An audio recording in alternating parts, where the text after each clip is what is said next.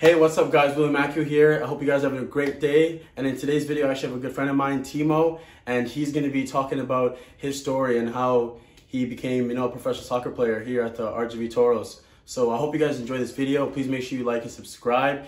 And I'm gonna hand it off here to my good friend, so.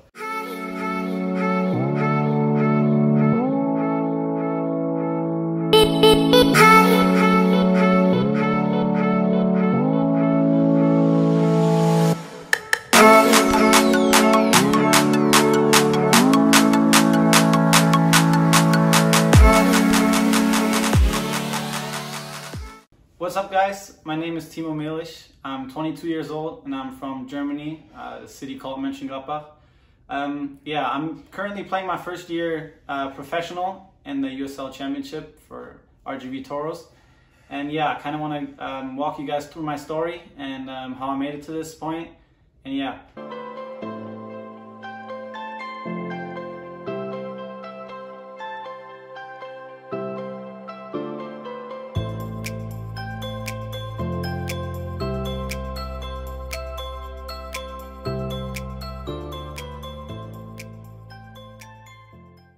Starting, I, I, I played like most of you, starting in a small, you know, hometown team when I was about four or five.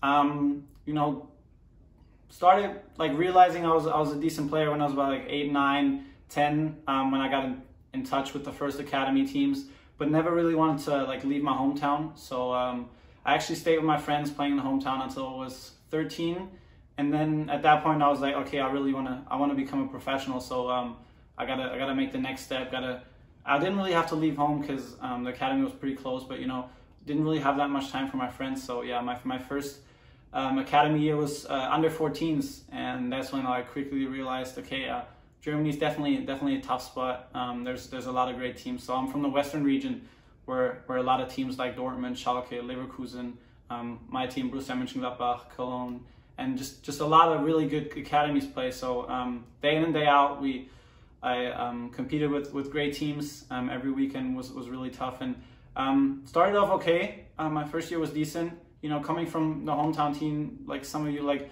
you may feel like you're the best player on the team, and um, yeah, you, you just want to you want to come to the next step, and then all, all of a sudden you realize, okay, there's there's a lot of great players, and um, that was like my first moment where I was like, wow, um, there's there's it's not just me with that dream. So there's a lot of really good players, and um, yeah, under 14 was a decent year, was okay. Um, then under 15 was was a tough year. I didn't get a lot of playing time. Um, I used to be really I'm six foot right now.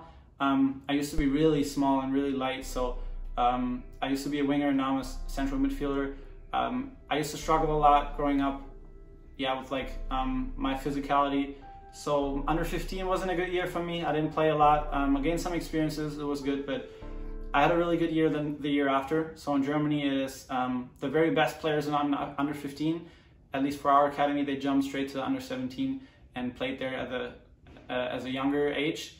But um, other players that might not have played that much or weren't like at the top level got the chance for the under 16s to really grow physically, get stronger, and, and get game time. So I had a really good time um, in the under 16s at great coaching staff and felt really good.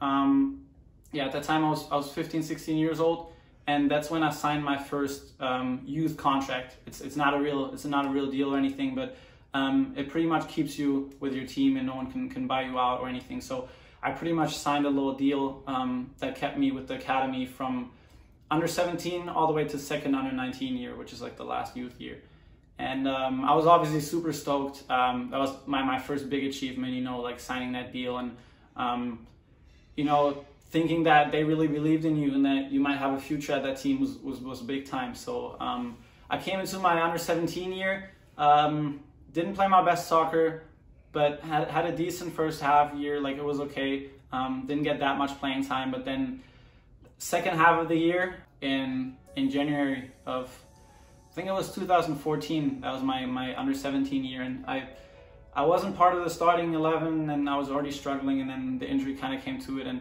at that point I was really probably at, at the lowest of my like confidence. You know, like at that point I was really like, damn, um, I see other people getting getting stronger, getting bigger, um, might, might be more talented than me, and that was really a changing point where.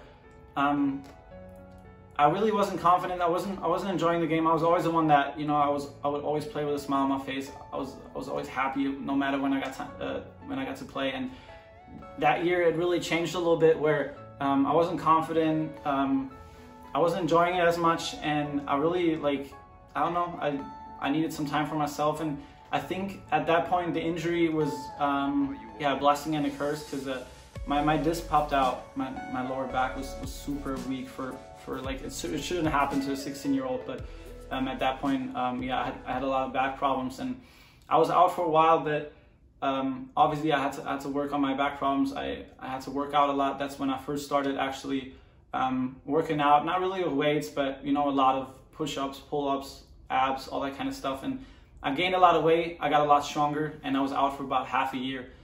And um, that was the end of my under 17 year. Uh, at that point, um, we had a meeting with our coaches, about five or six, seven players of our team.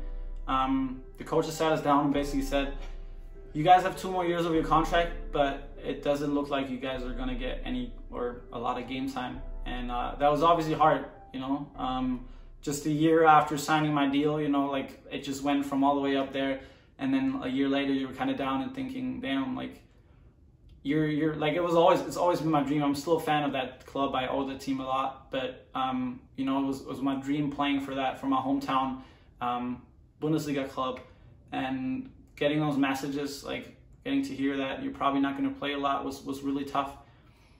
Um, but it, I was really fortunate because and that year our uh, neighbor team, same city but um, small academy, that actually had a breakthrough year and made it to the under 19 Bundesliga. So we would compete against each other um, just at a smaller academy. And um, without even trying out for them, for some reason the coach had like, watched some video and had faith in me and signed me. So um, my both years in under 19 Bundesliga, which is the highest level you could play in, in youth soccer, um, I actually played for FC Mönchengladbach, which is a neighborhood team. Um, uh, so we would compete against all the big teams. Against Dortmund, I played against Pulisic. I played against Thilo Kehrer for PSG. I played against all the big names um, of, of, of, young players. Um, and I got to play at, at, a, um, at a small academy, but at the highest level. And I was the youngest on the team my first year. Missed half of the preseason because of my injury, and um, actually had to take, take a step back after the first week of practicing my back started hurting again. And um, yeah, the, the, the big step was we go into training camp and uh, we name our captains. And for, so, for some reason, my coach names me a second captain as the youngest player on the team and not really playing a lot with the team. So I was shocked. My teammates were kind of shocked and um, kind of disappointed too because there was a lot of older guys that, that probably wanted that as well. But, um, you know, he trusted me. He gave me confidence. He trusted me.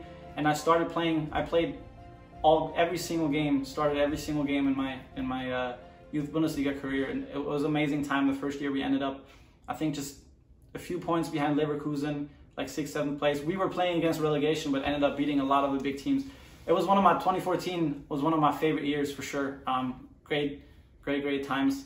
Um, great coaching staff I had because sometimes you just need someone to really believe in you. And you know, I was I was at the bottom. You know, that's how it goes in soccer, up and down. It's a it's a daily business. So um, that's something you got to work with. And um, yeah, I he believed in me. He gave me confidence. I needed playing time, and it all worked out pretty well. So fast forward two years later, um, I'm at the end of my youth career. I'm 18 years old, and I just finished my high school, or I was about to finish my high school um, at the same time as I finished my youth career. So now, obviously, it's it's a big step. You're done with school. You're done with your youth career. What happens now? Like I said, Germany is a, is a really tough spot. Um, competition is really high, so um, it's not really easy to find to find a team like that, especially coming from from a small academy. Obviously, I, I had two good years, but um, still finding that finding the next team is really hard. And um, we had played uh, a tournament in Las Vegas when I was 15, under 15s. Um, I had played a tournament, and um, the organizer of the tournament and our coaching staff was really was really tight, and they were really good friends. And um, so he started reaching out to some of our players from Borussia Mönchengladbach and also from FC Mönchengladbach, my academy, and just kind of asking what we were doing after um, after high school. My parents obviously um, would have liked me to, to finish my school and wanted me to pursue like you know a college career or um, university in Germany. so it kind of um, came to us came to the point where he reached out to me and just said, uh, "Listen, there's a coach from a from a college in um, in Las Vegas. He's looking for players, and uh, he's coming down. He's coming down to Germany for a week. And uh, if you let me know when your games are, he would probably come and watch your games. And I mean, I, I didn't think too much about it. I was just like, sure, I have I have a game I have a game that weekend, so um, you can just uh, you can just tell him to come down. And uh, I'm not gonna make a decision now, but obviously I would like to talk to him and just listen to, to the offer. So um, he came down. It was in February of my, my last year, so it should have been. It was February 2016. Um, he watched the game. He watched some some games with my friends, and, um, and he sat me down and said that he was willing to offer me a full scholarship, and pretty much kind of explained to me what college is. You got to understand, like coming from Germany, um, there's no university soccer. There's no there's no college athletes. There's no sports there. So it's pretty much either you pursue soccer or you pursue your college. I have some friends that did online school, but um, it never really works out. So in Germany, it's it's, it's tough. So um, you either pursue soccer or the other thing. So uh, it was tough for me. I, I trained with Schalke um, for a couple weeks in uh, I think in May, um, and it was just it was kind of difficult at that point. It was really just you know figuring out. I tried to apply for my visa at the same time. You know I did my SATs, um, my ACT, and I wasn't sure what to do. You know, it was really tough. Um, I had a girlfriend at that time, so obviously, I was always aware of the situation in soccer that I would have to move at some point. But you know, moving five thousand miles away is is, uh, is, a different kind kind of step. So uh, it took a long time, and I can't really tell you why, but it just felt like the right move. Um, what the coach said really impressed me. Um, I like the idea of you know finishing my, my, college career at the same time playing at a high level of soccer. Um, and for some reason, I just said, let's do it. So um, a couple weeks really before uh, the season started or before preseason started, I decided to fly to America. And um, I took my brother with me. At first, I was scared. Um, I didn't want to go. I knew English a little bit, but um, my English really wasn't that good. So um, it was nice to have my brother who was older than me and a little more experience with those things. So I took him with me, spent some weeks uh, traveling around the coast just to get to know, you know, the culture and everything. And yeah, um, here I was uh, starting my college career for UNLV in Vegas. Started off kind of tough. I, I didn't know really what to expect. Uh, it was it was weird. Um, college, you know, the playing style, getting sucked in and off, and um, it was it was just weird to me. I it took some time for me to get used to it the physicality. It was, you know, a, a, lot of running. You know, when you come from Germany, it's all about, you know, you learn tactics really young and, and obviously technical stuff. So I think I, I knew I had my advantage there, but, you know, a lot of these, these college kids were really strong. Um, you know, the schedule was tough, you know, waking up every morning and um, at the same time, you know, balancing school life, you know, learning a new language pretty much. And um, it was, it was hard. So my first year, I started off relatively slow. Um, ended up finding a rhythm by I don't know, probably like six, seven games into the season, and from there on, I really, really started enjoying it. You know, I made some friends at that point. I got used to the dorms, you know, which was weird for me at first, and ended up winning uh, freshman of the year actually. And uh, we advanced the, to the tournament for the first time. Um, obviously for me, and we played a great tournament. We, we made it to the second round of nationals for the first time in like 30 years. So I had a great first season and um, started to really enjoy it. But I got homesick by the end and was really happy to, to go home. Obviously over the over the winter break, um, and then the first the first big uh, hit for me was spring season. Um, that was just something I didn't expect. You know, not seeing the ball a lot, working, getting a lot stronger. I gained I gained probably like five, six, seven pounds just just you know moving weights and um, yeah, not having those games and not really playing competitive soccer was was tough.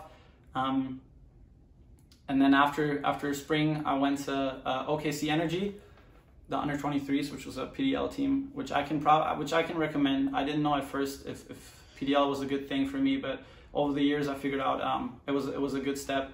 Played a couple games there, but told the coach already I wanted to go home. You know, you know, spend some time with the family. Sophomore year, we had a great team. Um, probably didn't um, exceed our expectations really because we stayed pretty much with the same team as the, as the freshman year, had some additions, so should have really gone higher. Um, I started slow again, ended with a with a good season, um, made the made the first team all conference. Um, but you know, for me at that point, I had really really high expectations of myself, and I was really aiming for for even a generation Adidas spot, and I, and I really wanted to leave college early um, after two decent seasons.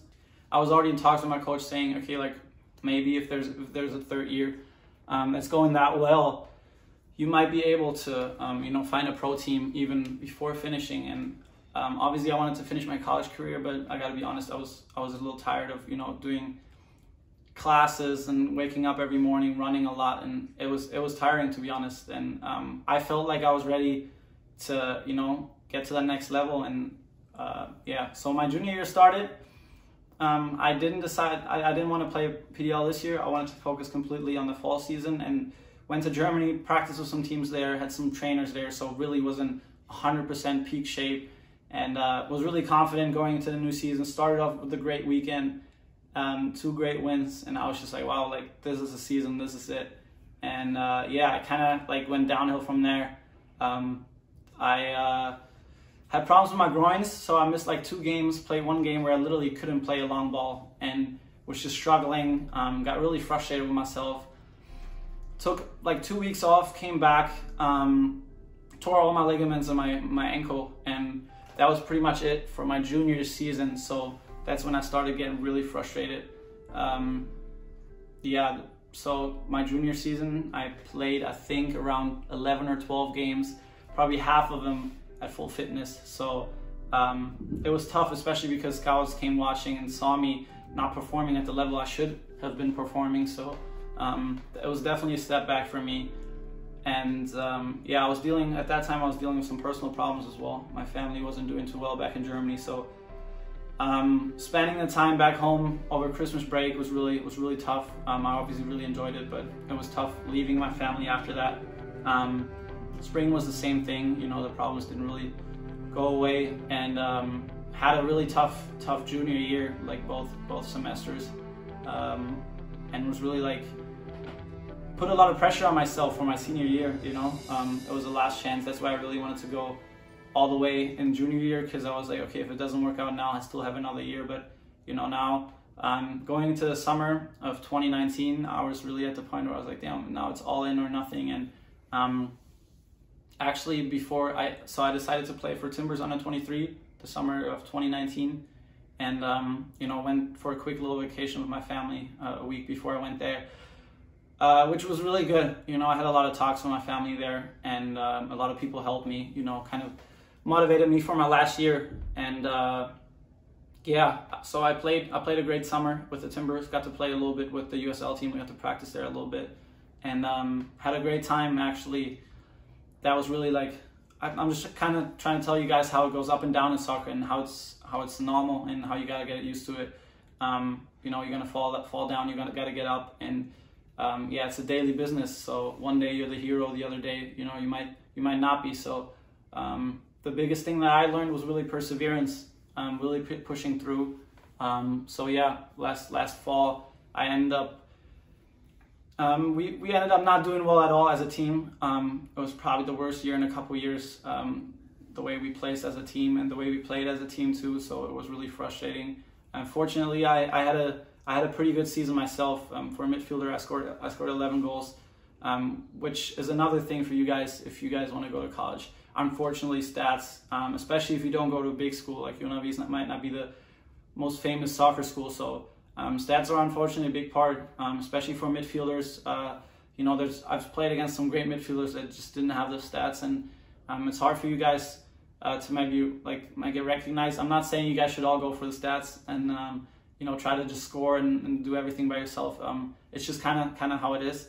But you know, if you're a good player that's always what I said. I never transferred. I never wanted to go to a different school. I always said I'm a good player. Um, I will get recognized. I will get seen by scouts, uh, no matter what school I play for. So um, yeah, I ended up doing really well myself for the senior year. Um, got invited to a couple combines, um, and uh, yeah, talked to that was like last year in December, so 2019 December. I got invited to a couple combines played actually really well. Played in, in some positions I wasn't used to. So I'm an attacking midfielder, and um, I played one whole one full combine, like three four games, and as a holding midfielder.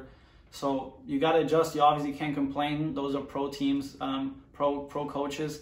Um, they've seen it all. So if they, they tell you to play a position, they probably have someone in mind. And um, it ended up working out really well. I played played a great combine and um, talked to a couple coaches, and then yeah, went home um, over Christmas, and then got the great news that I was drafted by Seattle. Um, and then yeah, some some other things happened. Um, some deals were made, and um, you know Houston and, and, Seattle had some conversations, and um, I had signed I had signed a deal with uh, RGV, but um, yeah, Seattle was well aware and of that undrafted me, but you know it all worked out fine. Now I'm here in the Valley. Um, you know, trying to enjoy my first season, even though I've only played one full game, but um, hoping to, to get back on the field. But yeah, just you know, if there's if there's one thing I want to give to you guys is you know, perseverance is everything. You got to believe in yourself, but trust me, um, no one has ever made it without you know failing first. And I think what I've seen with a lot of great players in the academy in Germany is the players that were the best players, number 10 captains, best goal scorer, all those guys. Some of them definitely made it for sure, but a lot of these guys have never really experienced failure until it came to the big jump to the pros. And if they didn't make it right away, they often struggled to, you know, get back on their feet because they never handled or they never knew what it was not to be the best. So, um, perseverance is a big thing, man. Like, it's big. I've had a lot of setbacks, um, a lot of hardships, and I think just because I never gave up, I eventually, you know, got my first professional contract, and you know, hopefully it's only up from here. Uh, I have a lot of more plans, and um, I have a long way to go. So yeah, hopefully that helped you guys out. And uh, yeah, thank you guys.